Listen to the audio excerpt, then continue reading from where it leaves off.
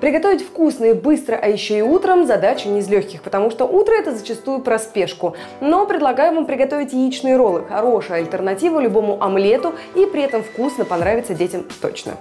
Ингредиенты для роллов. 4 яйца, 200 граммов творожного сыра, 100 грамм твердого сыра, столько же красной рыбы, столовая ложка растительного масла, один помидор среднего размера. Готовим яичную смесь, взбиваем с маслом до появления пенки, соль, перец по вкусу. Часть смеси отправляем на разогретую сковородку, жарим с двух сторон по 2 минуты.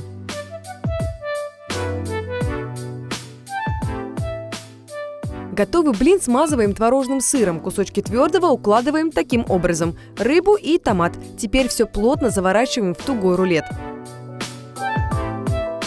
Оборачиваем пищевой пленкой, как конфету, и в холодильник часов на 5. Пока остывает, предлагаю еще один рецепт вкусного и полезного завтрака. Если спросить у специалистов, что лучше, брокколи или цветная капуста, они однозначно ответят и то, и другое, потому что эти продукты – кладезь витаминов группы А, В, фосфора, магния, калия, и это только часть минералов. Сегодня предлагаю приготовить такую витаминную запеканку. Правда, в нее мы еще добавим помидоры и немного замороженной моркови. Для запеканки понадобится 100 граммов сыра, 4 яйца, 200 миллилитров молока, брокколи, цветная капуста и морковь. У меня замороженная смесь. Ее заранее немного проварила в подсоленной воде. Следом идут помидоры и сыр на мелкой терке.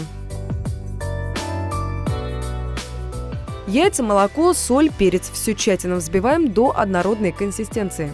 И, кстати, если вы хотите, чтобы она была более сытной, сюда можно добавить различное мясо, вареную грудку, вареного кролика, если это более диетический вариант. Собственно, все то, что придет вам по душе. А пока собираем нашу запеканку, и первые отправляются овощи.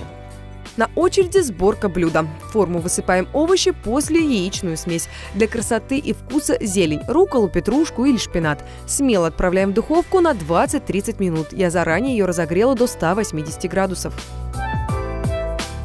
Завтраки готовы, рулет застыл, а запеканка еще пышет жаром. Нарезаем на порционные кусочки и подаем к столу. Приятного аппетита!